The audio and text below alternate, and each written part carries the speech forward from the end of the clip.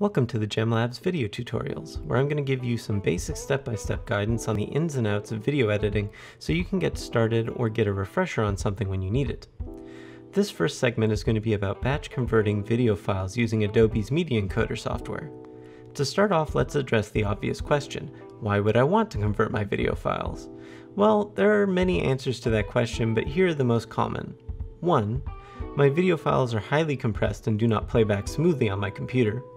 Two, my computer is a bit weak and I want to make the editing process easier on it in general. Or three, I am working with screen recordings that have a variable frame rate and don't play back that smoothly. These all point to essentially the same issue, which is that a lot of the footage you would deal with screen recording or shooting with a DSLR comes in different MP4 formats, usually H.264 video, which is very compressed in order to save space on your hard drive or memory card. However, to save this space, they are making your computer do more of the work when playing back the footage. These formats work fine in Premiere if you have a fast enough hard drive and powerful enough computer to run them, like the workstations at the lab, but keep in mind that even then, the more effects work, graphics work, multiple layers of video you layer, etc. you do in your work, will make it harder on the machine.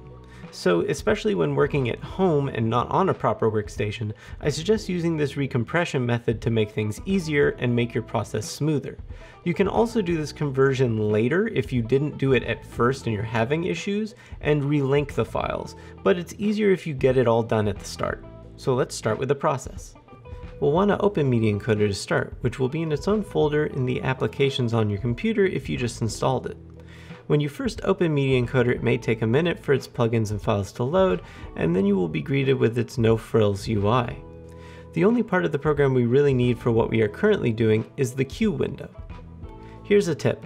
Batch converting a lot of files or very long files can take a very long time, depending on your computer and your hard drive, and it will likely use most of an average computer's processing power to do it.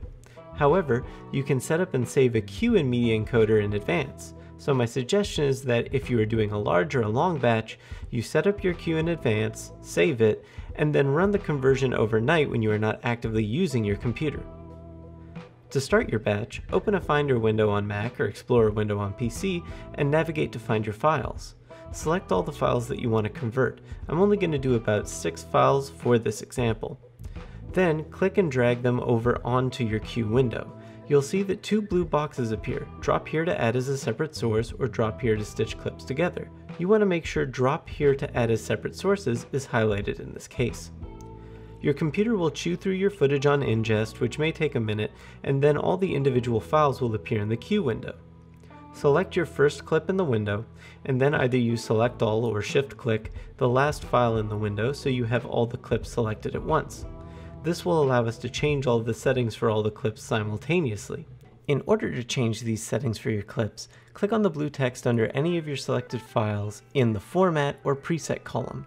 It will give you a warning that you are changing settings for multiple clips, which is normal, click OK. This brings us to the Export Settings window, which can look a little overwhelming but for this task is pretty simple to use. Go to the Format dropdown and select QuickTime if it isn't already selected. Then open the Preset drop-down menu. Here you'll see the ProRes family of codecs. Let's pause for a quick explanation. ProRes codecs are designed to work in .mov files, so that's what you'll see when you've converted them. They're designed specifically for video editing, but they will also significantly increase in file size. So if you have a lot of recordings in very limited hard drive space, it can be useful to cut out any junk recordings or false takes before you batch your files. As opposed to how they are presented in the menu, they ascend in quality in a slightly different way. 422 proxy, 422LT, 422, 422HQ, 4444, and 4444 with alpha.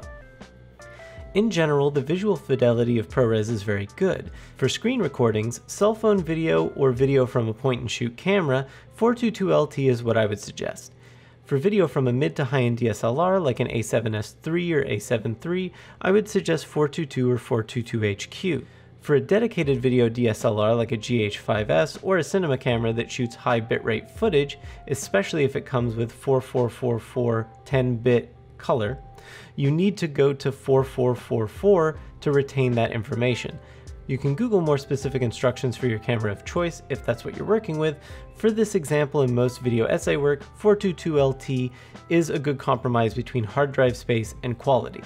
Once you've selected your preset, Media Encoder will have filled out the rest of the settings automatically and you can click OK. The last thing you have to do is click on the blue highlighted text under the output file column. This will open a Finder window or Explorer window where you can tell Media Encoder where to save your files. I suggest that you save your converted files to a new folder which you mark as converted or ProRes. Here's a tip. Reading and writing to the same hard drive simultaneously will typically slow it down. So if you have multiple hard drives that are the same speed, it will be faster in most cases to write or save these converted files onto a second hard drive and then just copy them back to the main hard drive once they're done converting. Once you're done all this, all you have to do is go to the top right of the queue section and click on the play button. This will start to render or write out these files for you. Again, this can take a while, so it can sometimes be useful to set up this queue and then run it at another point when you don't have to actively use your computer. Though generally writing ProRes is pretty quick when compared to something like an MP4 or another format.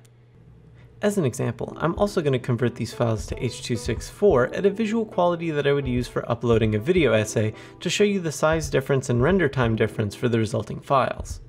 In this example, I'm using files that are just a bit larger than 1080p Full HD shot on an Osmo Pocket and combined have a runtime just shy of 2 minutes. Now this is being done on a fully equipped iMac with other video editing peripherals, so don't expect the same times, but the difference will likely be mirrored or worse on an average computer. ProRes takes about 1 minute 15 seconds to convert the footage, whereas H.264 takes about 3 minutes 57 seconds, so just over 3 times as long.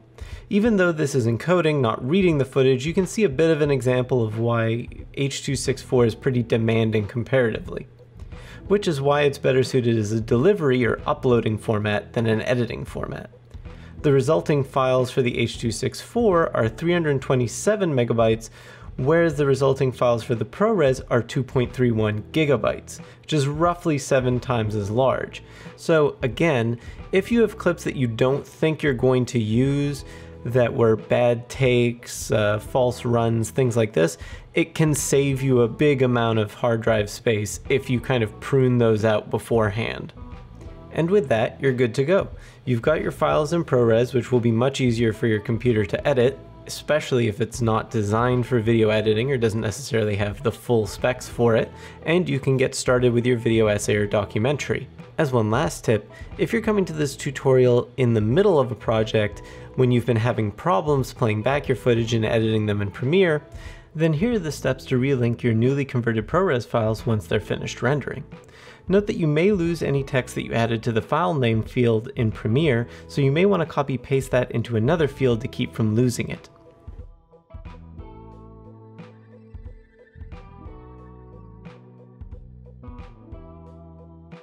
Select all the files you want to replace and then right click them and select Make Offline.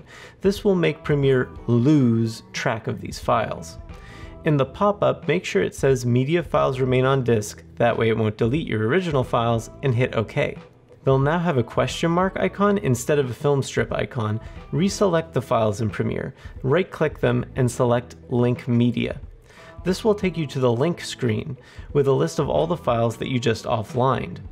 On the bottom left, uncheck File extension and select Locate in the bottom right. This will open a Finder or Explorer window with the name of the file it wants you to relink. Select the converted version of that clip that you just made and click OK. If you're relinking multiple files that are all in the same folder or directory, it should auto-detect and relink the rest of them for you. And there you go. You now have integrated your new ProRes files into your existing Premiere profile. I hope you found this tutorial useful. If you did, maybe do the YouTube thing and subscribe or like the video, and keep an eye out for more of these tutorials on the channel, which will usually be a bit shorter than this one. Thanks for listening, and good luck with all your editing projects.